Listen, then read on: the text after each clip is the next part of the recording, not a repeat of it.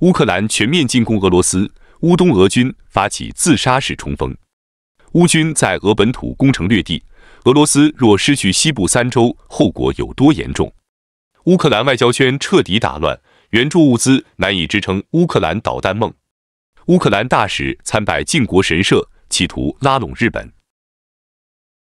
乌克兰全面进攻俄罗斯，乌东俄军发起自杀式冲锋。今天是乌克兰战争第九百二十五天。根据乌总参公布的最新数据，过去二十四小时里，俄罗斯军队共损失一千二百人，其他装备方面损失如下：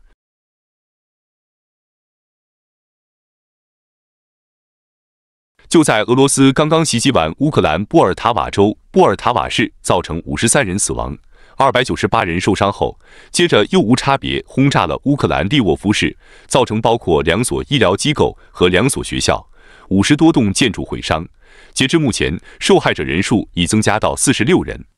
泽连斯基老家克里维赫今天早上也遭到俄罗斯导弹袭击，共造成五十多人死亡，三百多人受伤，有四所教育机构和一座酒店在袭击中受损。流出的视频显示，遭袭击的现场犹如世界末日，到处是钢筋水泥残骸、燃烧的火光以及哭泣的呼喊。最悲惨是一个五口之家，除了父亲幸存下来外，妻子和三个年轻的女儿都丧生在袭击中。很显然，越是这样歇斯底里，越代表内心深处的懦弱。他们怕西方解除远程武器限制，那样的话，俄罗斯军队将在战场上彻底失败。从俄罗斯外交部向北约发表的两份威胁性声明可以看出色厉内荏的本质。俄罗斯外交部长拉夫罗夫表示，他们不应该拿我们的红线开玩笑。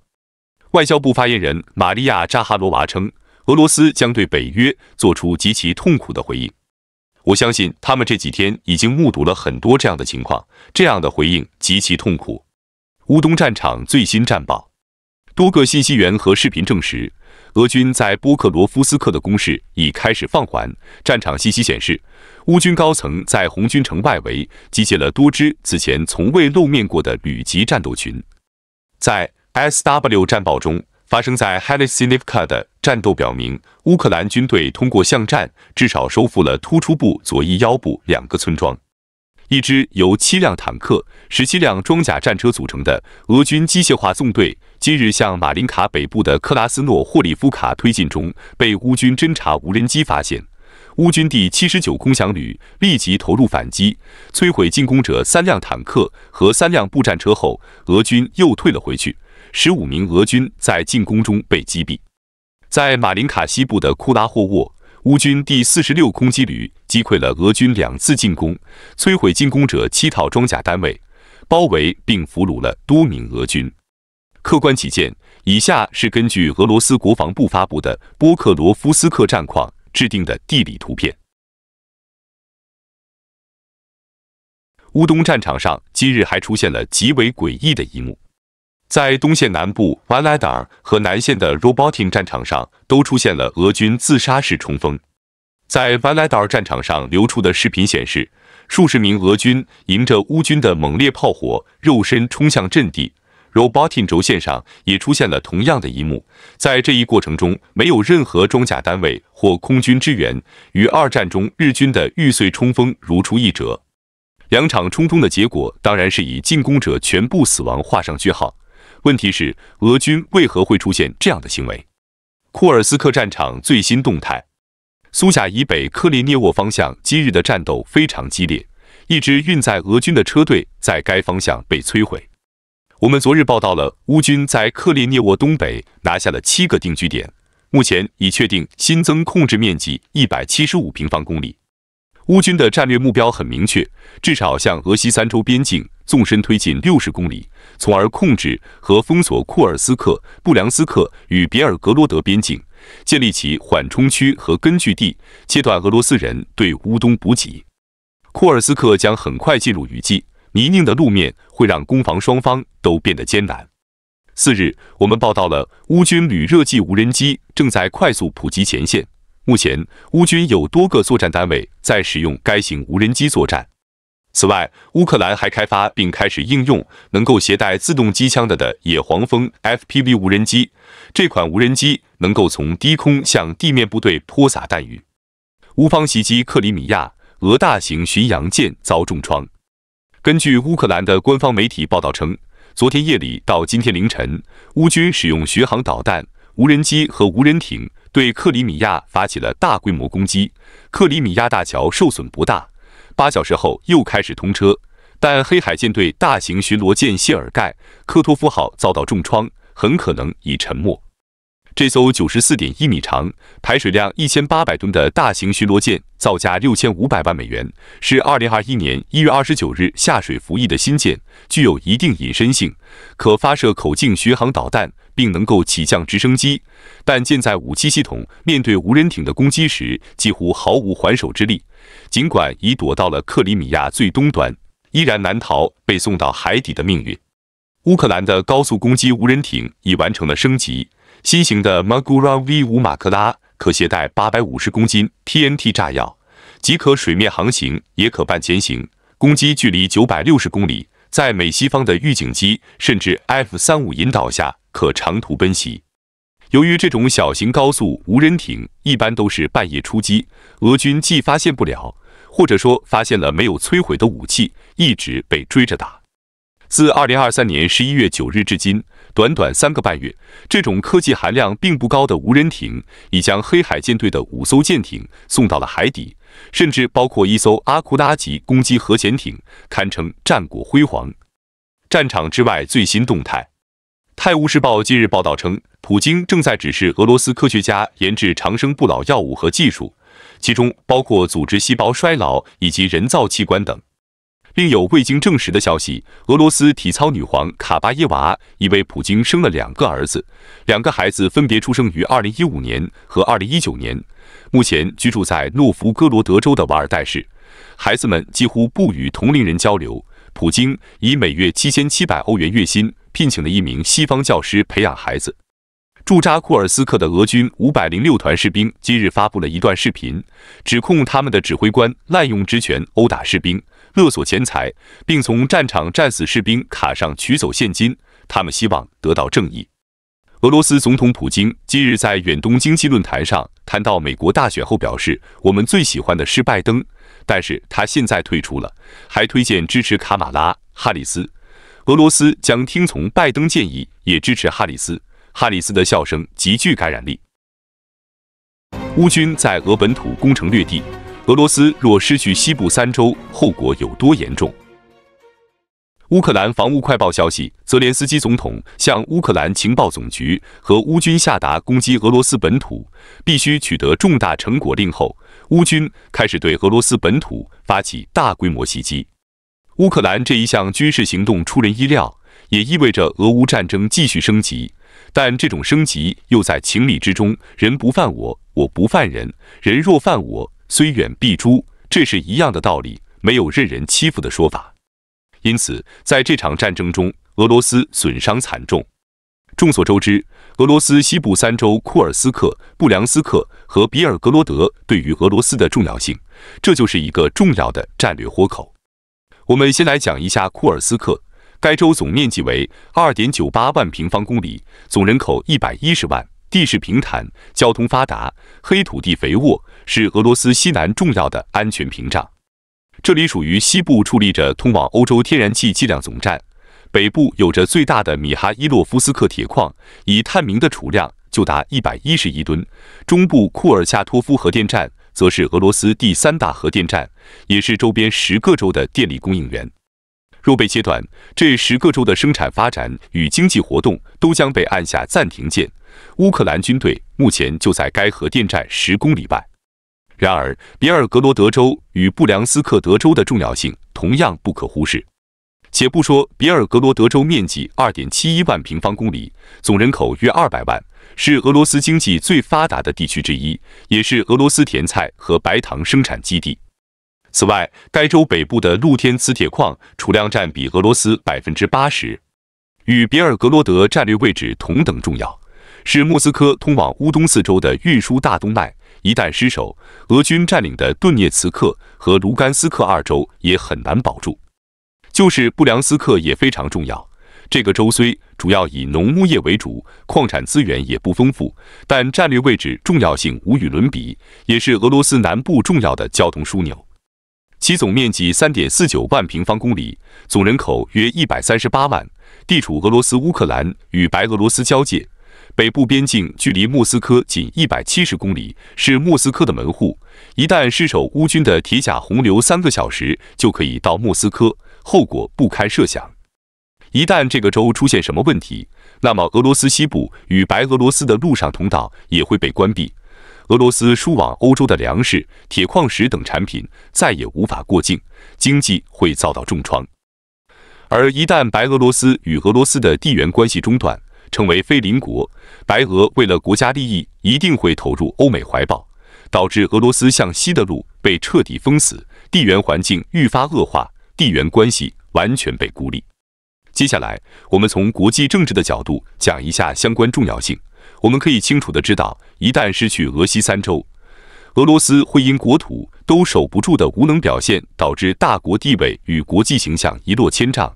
此后不会再有国家把俄罗斯当作强者礼敬，之前积累的军事、外交等财富也都将化为泡影。这却只是比较明显的重要因素。更重要的是，俄罗斯若失去西部三州，强权崇拜的文化心理下，俄罗斯国内必然民怨沸腾。普京在克里姆林宫的内部对手也必然趁机发难，政权土崩瓦解的几率非常高。普京是克里姆林宫的主人，但克里姆林宫不是只有普京一个主人，还有整个俄罗斯人民。虽然乌克兰总统泽连斯基一再声明，乌克兰对俄罗斯领土没有兴趣，控制俄罗斯领土只是为了换回乌克兰的领土，但这个也是比较让人难以接受的。哪有外国军队长期占据本国领土的道理？而且这支军队还是四百年来一直被俄罗斯人鄙视的三等公民乌克兰人。基于以上种种，克里姆林宫丢不起，也绝不会放弃俄西三州，更不会允许乌克兰军队一直在俄罗斯领土上存在，会不惜一切代价的确保国家领土完整与俄罗斯人文化心理平衡。从相反的角度看待这个问题，只要乌军继续在俄境内开疆拓土，乌东战场的俄罗斯军队主力就必须大举回援，因为没有选择。所以，我们认为，在乌克兰丢得起乌东四州，而俄罗斯丢不起俄西三州的非对等博弈态势下，俄罗斯很可能会率先败下阵来。至于会发生怎样的变化，我们不得而知。乌克兰外交圈彻底打乱，援助物资难以支撑乌克兰导弹梦。大家都知道，二零二三年九月四日，乌克兰时任国防部长阿列克谢列兹尼科夫辞职。但是，仅仅间隔了一年，泽连斯基开始对政府高层团队进行战时的第二次重大改组，在包括战略工业部长亚历山大·卡梅辛、司法部长丹尼斯·马留斯卡、环保与自然资源部长鲁斯兰·斯特里列茨、国有资产基金会主席维塔利。科瓦利等一系列内阁成员相继向议会提出辞呈后，外交部长库列巴也向议会提交了辞呈。乌克兰最高拉达议长鲁斯兰·斯特凡丘克表示，议会将在即将召开的一次会议上考虑他的辞职。根据乌克兰的相关法律法规，乌克兰的国防部长和外交部长需要由总统提名，议会确认，而其他部长则由总理提名。所以，这些辞职者中，库列巴的官阶最高，地位也最特殊。泽连斯基曾多次表示，秋天对乌克兰来说极为重要，我们的国家机构必须建立起来，以便让乌克兰能取得我们需要的所有成果。虽然乌克兰政界重大事项因战争停止，但今年按照常规是乌克兰的换届年，换掉一批部长也正常。库列巴的辞职，据称是可能他未能说服西方盟友放宽对远程导弹打击俄罗斯领土的限制。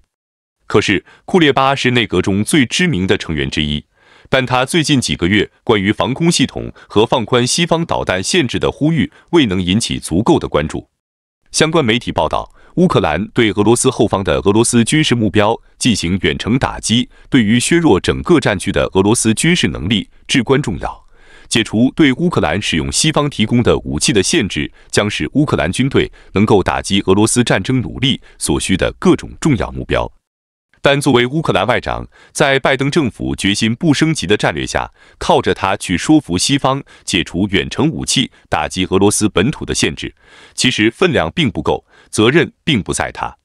事实上，乌克兰外长不管是善于打太极，还是直言不讳，都不会改变欧美援乌的大方向。但在细节上，诸如防空系统和解禁远程武器上，欧美都会按照自己的步骤。不管乌克兰人的痛苦有多大。他们都有各自的程序和官僚作风，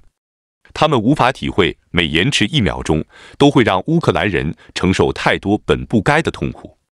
库列巴为了西方武器能快一点支援战场，冒着和这些盟友撕破脸的风险的直言不讳是出了名的。今年四月十日，在接受《华盛顿邮报》采访中表示，希望自己强硬的外交新风格能够取得突破，因为以往太过于软弱的作风没有什么效果。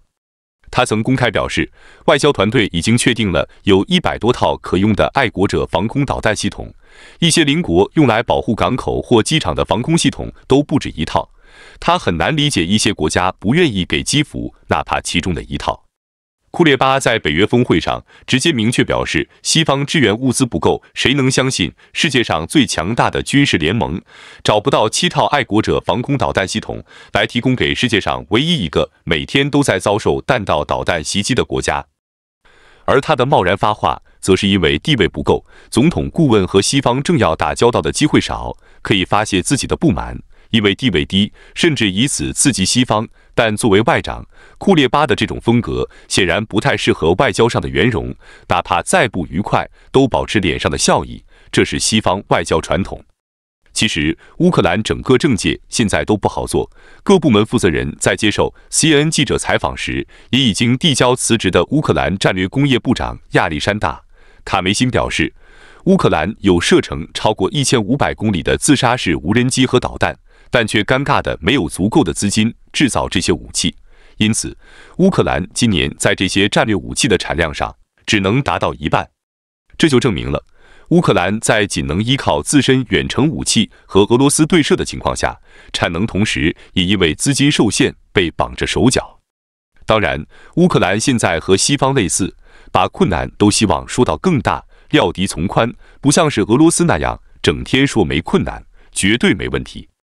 也就是说，西方援助乌克兰的资金不少，但多数属于一个萝卜一个坑的专项资金，例如弹药、武器，这些都是有数的。其他援助有的是能源，有的是农业、环保、教育，专项资金的条框太多，不足以发挥其军工潜能。但毋庸讳言，因为腐败传统，西方也不大放心将如此多的资金直接划拨给乌克兰。因为如果援助太多非专项资金，很可能在国会都无法通过援助法案。当然，这也可能是西方对乌克兰使用远程武器打击俄罗斯本土的源头限制。为了尽快结束战争，乌克兰部分高官也开始了病急乱投医。乌克兰大使参拜靖国神社，企图拉拢日本。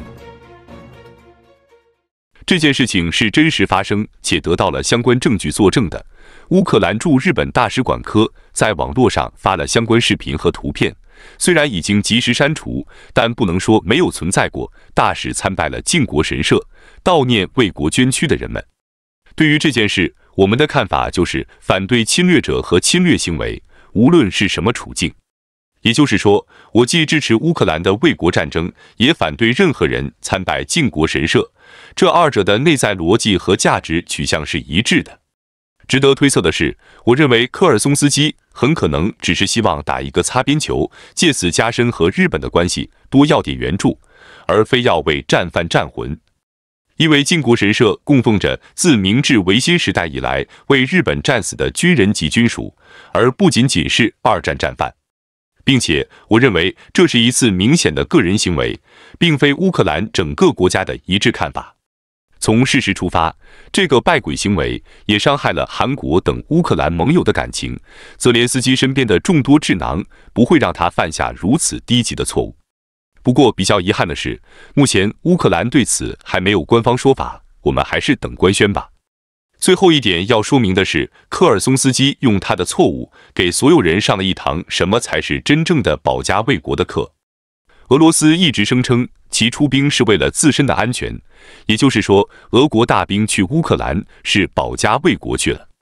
这个说法与当年的日本不谋而合。日本当年也说自己是为了民族生存空间而战，这应当是他们不愿意将二战战犯移除靖国神社的心理根源。这就是无稽之谈。这帮畜生是国际公审所认定的战犯，不是什么民族英雄，这一点毋庸置疑。任何企图为其招魂的行径，都是在挑战现有的秩序和国际法律。因为保家卫国是要以国际法为基础，不是你说是就是。